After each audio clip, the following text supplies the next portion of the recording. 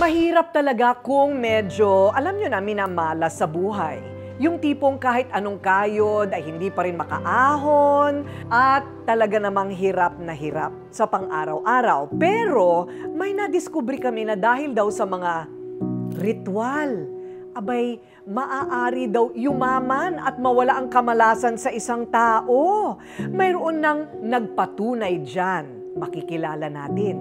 Kaya ang tanong, ito ba ay bigay ng kabutihan o alok ng mapanlinlang na kampo ng kadiliman? Ang misteryo at tunay na kwento aming inimbestigahan. Totoo ba ang mga ritual sa pagyaman?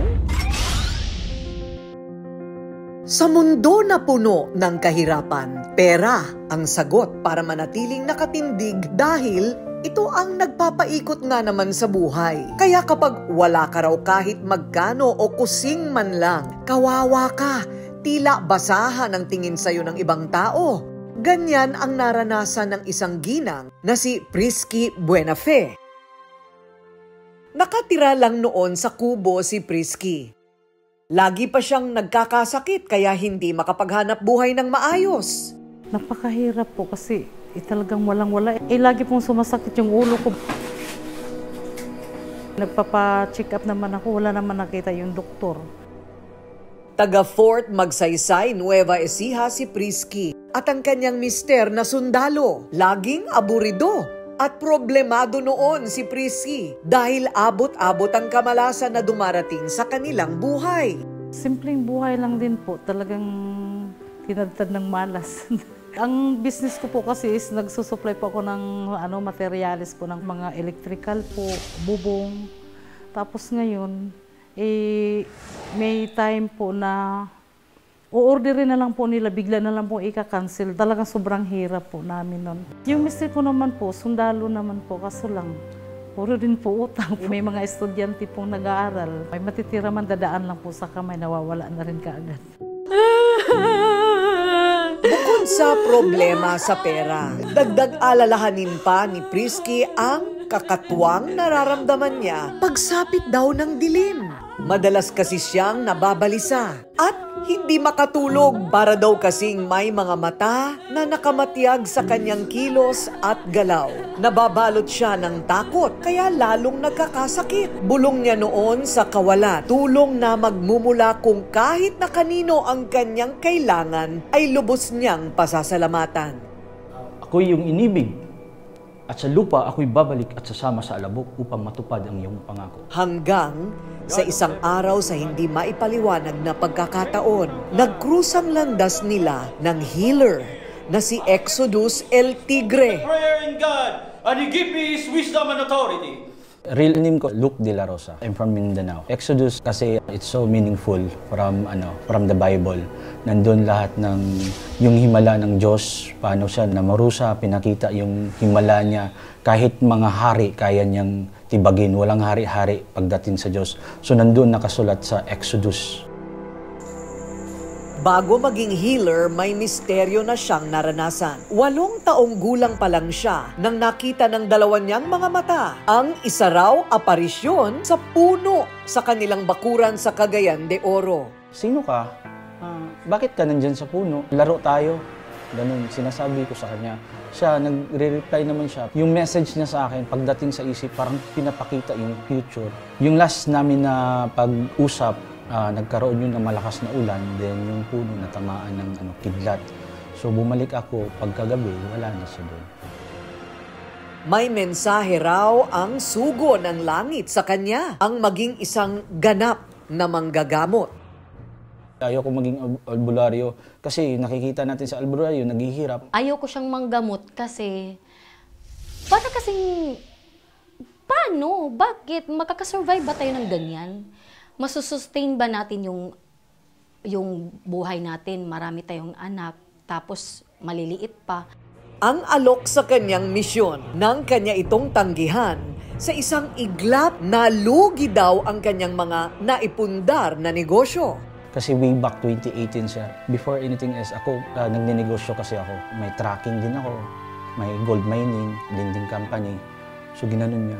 Wala na akong chance. Ang buti-buting tao ko, God, ba't mo ako ginato? Ang ram- maraming taong nakadepende sa akin, yung mga trabahante ko. Bibigyan ko kinabukasan yung pamilya nila. Pero bakit? Anong, anong gusto mo para sa akin? One night, nag, ah, natulog ako. Ah, sabi ng liwanag, I am the real God. Humingi ka at ibibigay ko, ipapakita ko sino ako. Kaya nang magdesisyon na siyang maging healer, Great is our God, Gadol Eloha, Epata, Epata. naglaho rin bigla ang bigat na pinapasan niya sa kanyang buhay. Bumalik unti-unti ang yaman na nawala sa kanya. Yung biglaan na lang na nagkakaroon ka ng biyaya. Sinubukan ako ng, ng Diyos, katulad ng sa, yung sa Bible, si Jacob. Baka sabihin ng, ng, ng, ng ano, yung sa demonyo, sa demonyo, sabi niya na, nagdadasal lang yan sa'yo kasi binibigyan mo ng biyaya. Personal kong binubunot ang anghel na hindi marunong magpatawad. Aum.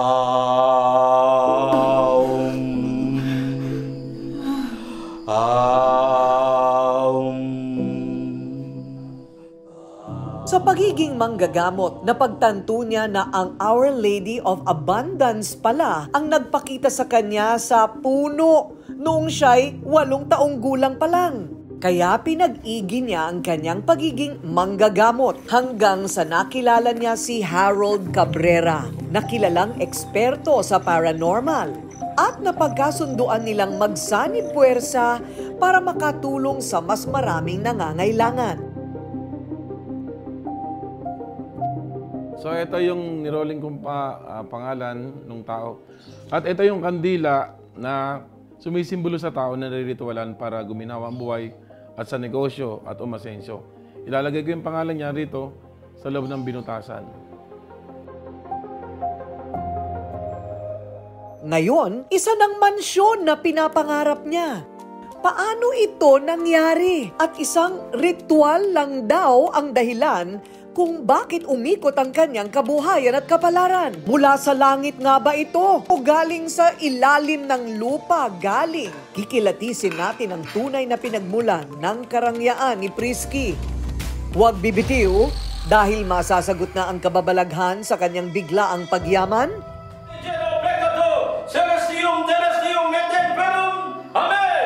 sa pagbabalik yan ng Rated Corina. Ito naman ang K-Magic Skin Cream for Body. Hindi kasi pwedeng masyadong matapang ang exfoliation pagka sa ibang parts ng katawan like kilikili, sensitive ang skin yan. K-Magic Skin Cream for Body.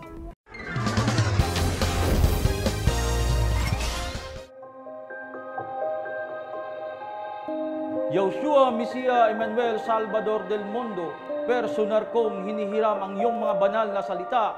Lumaki at nagkaisip sa probinsya ng Cagayan de Oro ang eksperyensyadong manggagamot na si Exodus L. Personal kong Tigre. tinatawag ang anghel na nagbibigay kalayaan.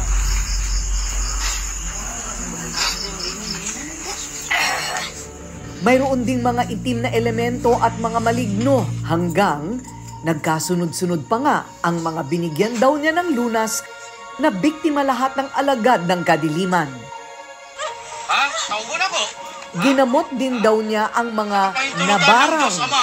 Tinatawag ko ang anghel na hindi bibigay kapatawaran. at kinulam. Kaya mo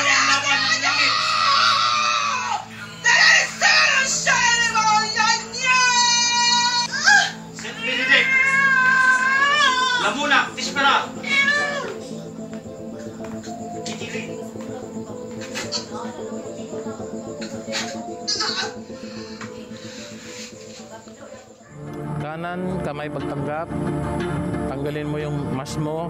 Humingi ka muna ng tawad sa pong may kapal na lumikha ng langit at lupa o ang Diyos Ama. ang kanyang naging kaibigan at kasangga na si Harold Cabrera. Marami na ring karanasan sa pagpapalayas ng mga demonyo at mga elemento na sumasanib daw sa mga tao. Simula nang sila'y magkakilala, apat na taon nang nakararaan, nagtayo na sila ng bahay gamutan sa Amadeo, Cavite. gusto mong babaeng tao? Bakit? Anong kasalanan nito? Anong ginagawa mo sa kanya paggabi? Sagot! Anong ginagawa mo sa kanya paggabi? Ha?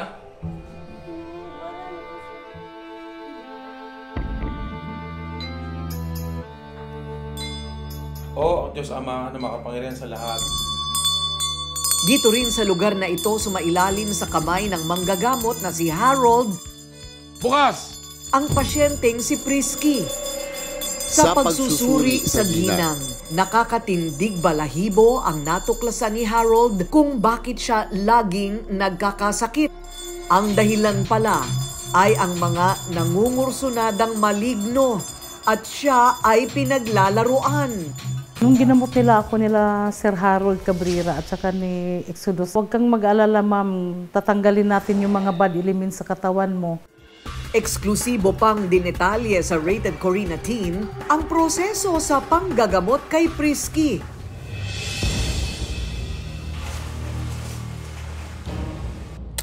Para mawala ang sapi sa kanyang katawan.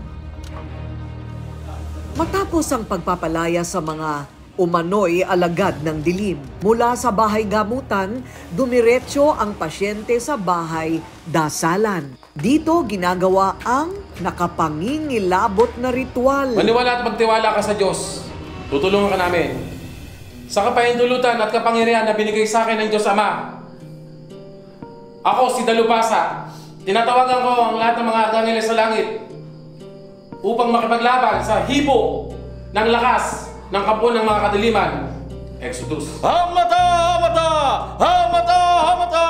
En nomine Jesu omnigedo plectator, celestium terrestium et infernorum amen. Luluhod ang lakas ng hibo ng langit at hibo ng lakas ng lupa sa harapan ni Kristo. Sa lugar na ito sinasagawa ang cleansing para itaboy ang bad energy na nagpapahirap sa katawan. Dito rin inuusal at binubulong ang kahit anumang kahilingan na kadalasan kaginhawahan sa buhay ang hinihingi. Dalawang taon na ang lumipas. Hanggang ngayon, hindi pa rin makapaniwala si Prisky Buenafe ng Nueva Ecija na naglaho sa isang iglap ang sakit na nararanasan noon sa kanyang katawan. Naging magaan na rin ang pasok ng grasya at swerte sa kanya.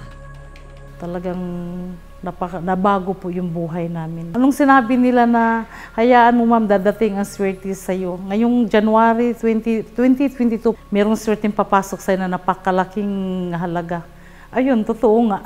Milyon-milyon po ang in order. Hindi lang doon natapos ang biyaya ni Prisky dahil kumita pa siya ng kumita bilang supplier ng construction materials.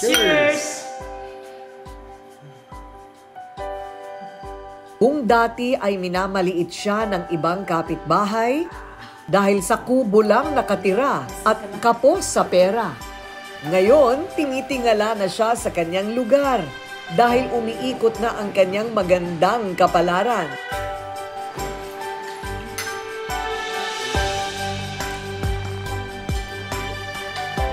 Nakapagpatayo na siya ng malapalasyong bahay at may marangya ng pamumuhay. Masaya lang po ako na ano na mga unexpected po kasi yung mga nangyari sa buhay namin ngayon na hindi ko hindi ko po akalain na ma- makakatira na po ako dito sa ganitong kalaking bahay. Dahil dati po kasi eh, kubo lang po yung tinitirahan namin. Sa tinatamasang biglaang pag-asenso ni Prisky Buenafe, How great is our God! may mga hindi naman naniniwala na ritual sa pagyaman ang dahilan ng kanyang tagumpay. Hindi ako naniniwala sa ritual ng albularyo dahil direkta ako nagdadasal sa Diyos. Kung talagang para sa iyo yung yaman, baka nagkakatotoo. Di ba? Pero pag mm, hindi ka talaga naniniwala, baka hindi naman para sa iyo. May mga tao naman naniniwala doon sa ritual ng albularyo. Hanggang ngayon naman, nagiging practice pa rin yan ng mga ibang tao. Kasi ang albularyo naman may kanya-kanya silang pamamaraan ng pagdarasal. Pero syempre, bilang isang katoliko, ah, wag natin masyadong iaasa yung buhay natin doon. Baga sabi nga, nasa Diyos ang awa, nasa tao ang gawa. So tayo bilang isang individual o isang tao, kailangan pa rin natin magsikap sa buhay para at least umasenso tayo at ma- ma-goal- ma- ma-reach natin yung goal natin o yung gusto natin sa buhay. May paliwanag naman si Nestor Castro, isang cultural anthropologist. kung bakit marami pa rin Pinoy ang naniniwala sa mga agimat at mga ritual kahit moderno na ang panahon. Ang paggamit ng mga ritual ay talagang parte na ng kulturang Pilipino. Matagal na itong paniniwala ng mga matatanda at nagpapasalin-salin sa iba't ibang henerasyon. Pinapaniwalaan na rin ng mga bata at sinasabi nila wala namang masama dahil ah, malay mo ay magkatotoo dahil sa mga ritual na ito. So ang pagyakap sa mga ritual na ito ay pamamaraan ng mga Pilipino para magkaroon ng seguridad. Kasi sa buhay nila, ang dami-daming walang katiyakan. Pero halimbawa, ah, nagpatingin naman sa doktor pero walang nangyari. O kaya ilang paghihikahos sa trabaho pero hindi pa rin tumataas ang sweldo. So sabi nila, bakit hindi ah, pumanig na lang ako sa mga dati ng paniniwala, wala namang masama kung hindi magkatotoo. Ano? So sigurista rin kasi ang mga Pinoy. So gagawin din nila yung ah, masipag na pagtatrabaho, magkukonsulta rin sila sa doktor pero magkukonsulta pa rin sa albularyo. Gadol. At sa tanong kung mula ba ito sa kasamaan o kabutihan, may sagot dyan ang mga dalubhasa. Siguro hindi ang question kung valid o hindi, kundi ah, epektibo ba para sa kanya. Kasi ang natutugunan nun yung psychological security na ay nanalangin ako. So para sa kanila ay napapanatag ang kanilang loob. At kung mangyari man, edi natutuwa sila. So kami sa disiplina ng anthropology, tinatawag namin itong syncretic culture. Parang pagsasalubong ng magkakaibang kultura, kultura mula sa West tulad ng modernong medisina, ah, kultura rin na tradi- traditional na atin, na andun pa. So napapaghalo natin kahit na sa moderno pang sitwasyon. Siguro ang hindi maganda kung basta-basta puro ritual na lang at hindi naman magsusumikap. Pero wala ako nakikitang masama na nagre-ritual tayo at kumikilos tayo. Pero para kay Prisky, bukod sa ritual na nakatulong sa kanyang pagyaman, ang mahalaga pa rin ay ang tiwala sa sarili at tiwala na nasa itaas. Eh, hindi naman po magic. Pero no, yun nga, nung lumapit ako sa kanila, tuloy-tuloy po talaga yung swerte na binigay sa akin. Gumaan po ang buhay ko. Hindi lang pala kailangan na lakad ka ng lakad na parang walang direction yung buhay mo. Kailangan pala talaga unahin mo pa rin yung itaas. Yun yung sinasabi na maniwala tayo sa itaas at magtiwala. Paglilinaw naman ng dalawang healer na sina Harold at Exodus El Tigre, hindi naman daw sila ang nagpapagaling sa mga may sakit. Healers, walang kapangyarihan. Kapahintulutan lang, Diyos pa rin ang magpapagaling. Hindi rin daw sila ang nagsasabog ng biyaya sa isang tao gamit ang ritual sa pagyaman. Sila daw ay mga instrumento lang at lahat ng ito ay kapangyarihan na galing sa puong may kapal.